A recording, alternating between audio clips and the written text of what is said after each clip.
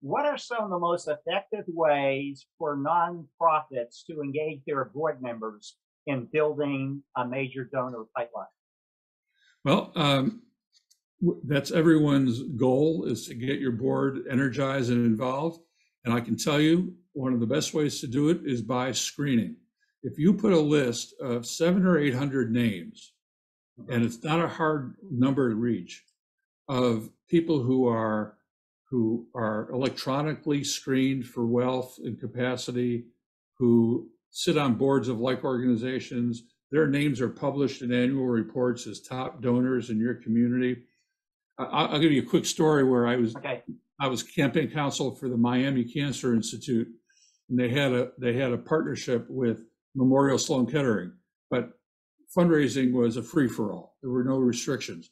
Well, Memorial Sloan Kettering published the names of a, of all their donors of hundred thousand plus on their website. So I I copied I copied all those names, right?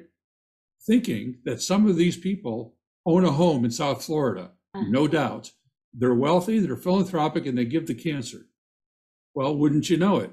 I showed that list to 150 people, doctors, volunteers, and this and that.